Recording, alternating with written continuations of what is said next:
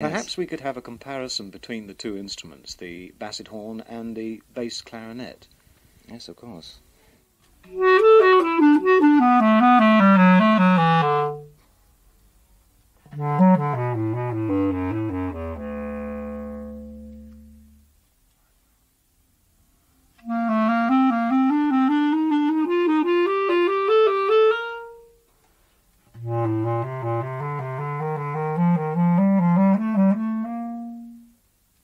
Well, thank you. Yes, well, that uh, shows the difference anyway. The, the bass clarinet is obviously very much uh, deeper and a rounder sound.